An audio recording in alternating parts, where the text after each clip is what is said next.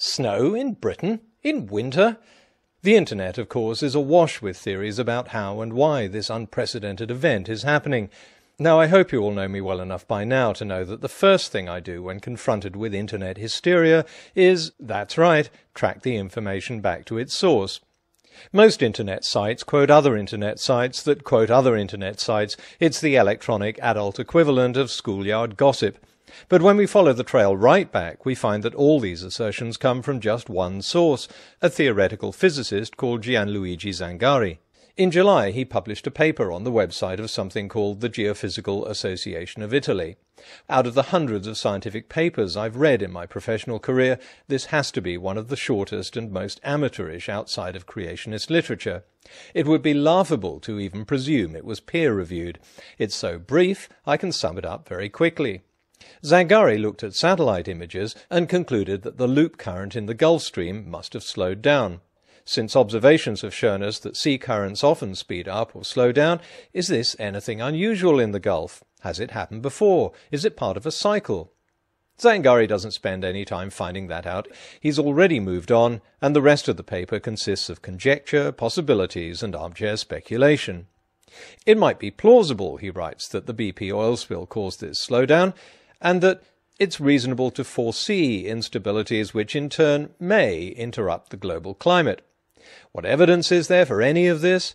None. It's just Zangari's ponderings.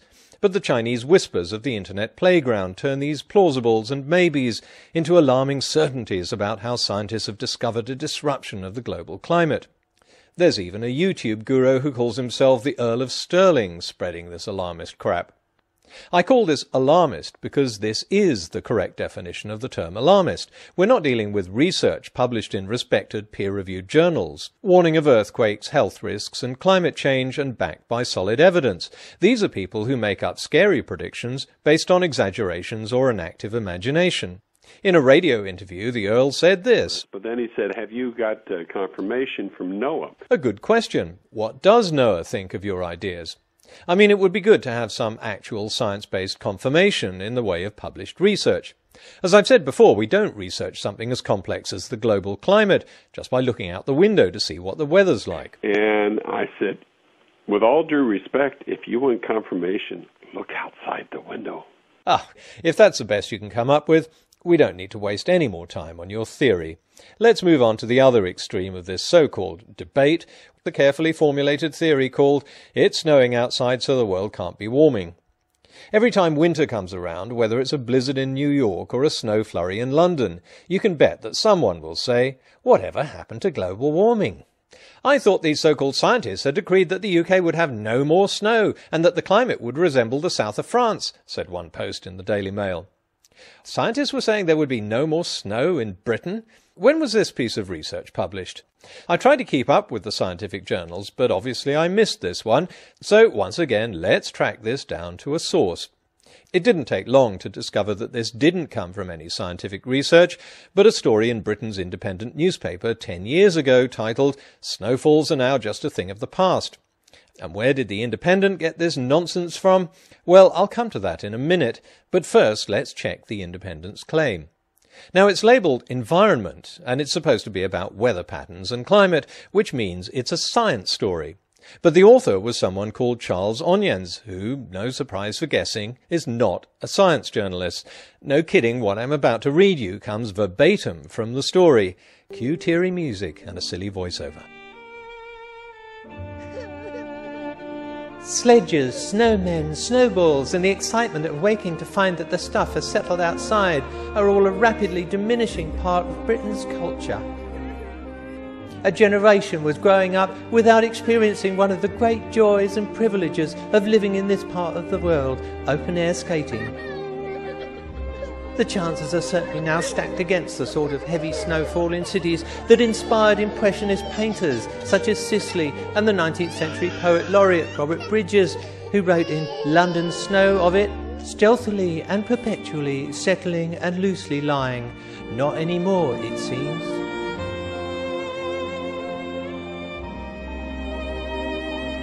I'll cut before I throw up.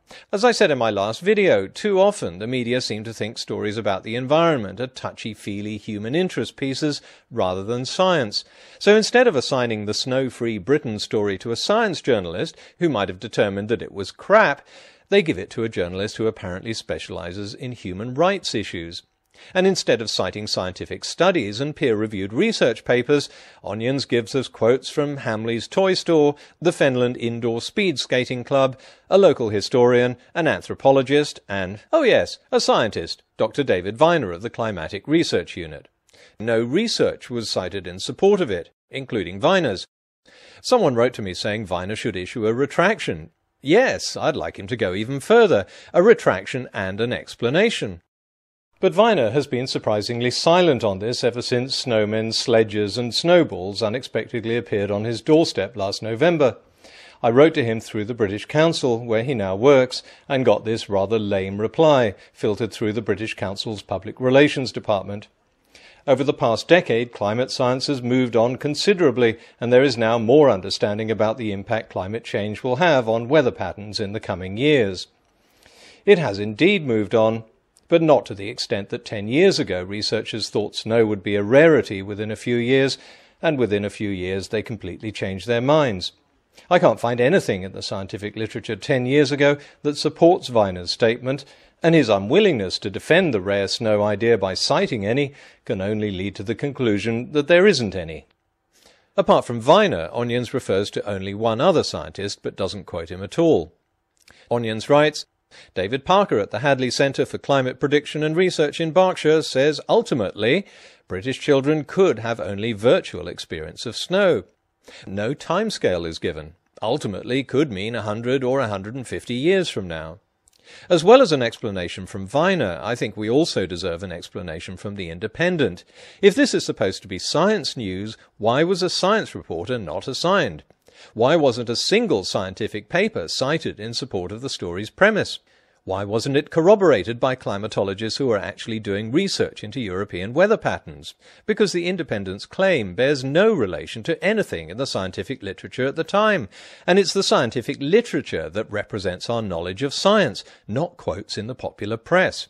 If Onians or his editor had bothered to check, they would have found a wealth of research on European weather patterns, none of which predicted an end to sledges, snowmen, snowmen snowballs, and the excitement of waking to find. All right, all right. I've just had lunch. A number of papers written in the late 1990s showed that warm and cold winters in northern Europe are cyclical and dependent on two atmospheric phenomena. One of them, the North Atlantic Oscillation, is characterized by a permanent state of high pressure over the Azores and low pressure over Iceland. If the difference is small, the NAO is said to be in a negative phase and northern European winters are cold. If the difference in pressure increases, the NAO goes into a positive phase and winters are warmer. The reason for this is that the difference in pressure drives westerly winds. 1947 and 1963 saw particularly cold winters in Britain, just like 2009 and 2010, and all of them coincided with negative phases of the North Atlantic Oscillation. The warm winters of the 1990s were associated with positive phases of the oscillation. In 1997, Hurrell and Van Loon wrote this in a paper published in Climate Change.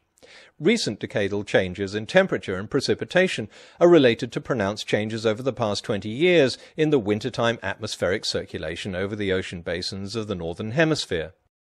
So Onians' assertion that scientists are attributing warmer winters to global climate change was pure bunkum. Some scientists may have been, who knows, but climatologists who were actually doing the research were much more circumspect. The uncertainty at the time was neatly summed up in the same paper by Hurrell and Van Loon. Whether the observed changes are in response to greenhouse gas forcing or whether the changes are part of a natural decadal timescale variation is difficult to assess and is a matter of much debate. Whatever the influence of global warming, no published paper concluded that the North Atlantic Oscillation was dead and that cold winters would become a rarity in Britain within a few years. The second major influence is something called the Arctic Oscillation, which was also being researched in the late 1990s. According to Thompson and Wallace in a study published in 1998, The leading empirical orthogonal function of the wintertime sea level pressure field is more strongly coupled to surface air temperature fluctuations over the Eurasian continent than the North Atlantic Oscillation. In plain English, this means that a fluctuating weather pattern called the Arctic Oscillation has even more influence than the North Atlantic Oscillation. Researchers now believe that both are linked, working together to bring extreme warm and cold winters to northern Europe in cycles that run over several decades. As a science journalist rather than a climatologist, one of the ways I can determine the importance and influence of these papers is to see how many times they've been cited by other researchers. In other words, how many other studies use the results to help further their research. But the papers I've quoted have each been cited around a thousand times. It would have been impossible for the Independent to have missed them.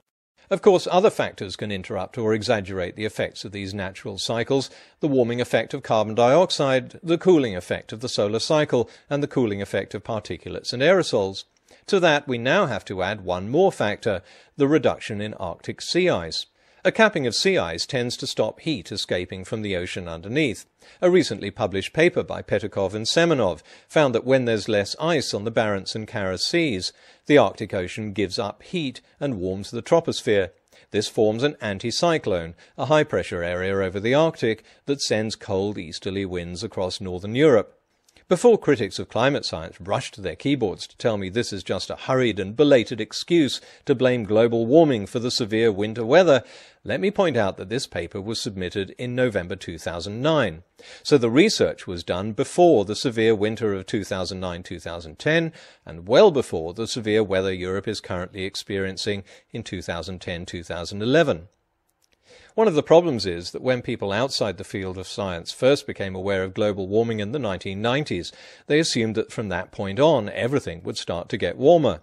A headline in Britain's Sun newspaper, again not the best source of science news, predicted a Costa del Manchester. When Britons experienced the warm winters of the late 1990s, they assumed this was now the new climate. And so did a lot of journalists, it seems. There was also an assumption that global warming meant every part of the planet would get warmer. But that's not the case either, which is why the scientific term is climate change. So to the guy who wrote this post, and the people who persistently put these posts on my channel, scientists haven't recently been calling it climate change at all. The term has been in use for over a century, which is why we have the Intergovernmental Panel on Climate Change and the United Nations Framework Convention on Climate Change.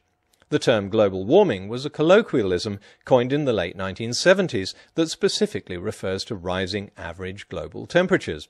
Petoukhov and Semenov's paper shows why the two terms shouldn't be confused. As the planet warms up, not every regional climate and every season will experience increases in temperature. By way of illustration, here's the temperature map of Europe, showing the extreme below average temperatures in November 2010. But if we zoom out from that, we can see that the rest of the northern latitudes were experiencing above average temperatures. So throughout this video series, I use the term climate change to mean climate change and global warming to mean global warming. If you think one term has replaced the other as part of a conspiracy to fool us, I suggest you find out the difference and see how they're used in the scientific literature. So why hasn't the climate models showed us that there would be snow in winters? Answer, climate models have shown us exactly that. Well, it's hardly surprising that people don't read the research that predicted the deep chill, preferring instead to read fluffy stories about children never knowing the joys of snow. One's hard, uh, the other's easy. So now the no snow myth joins the other myths attributed to scientists that they predicted global cooling in the 1970s and an ice age in the 1990s. You'll find debunks of these in my other videos. But the last laugh really has to go to poor old Charles Onians.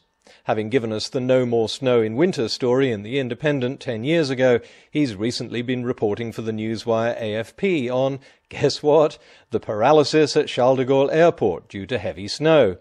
It could only be more ironic if he was reporting on British kids having fun with their toboggans.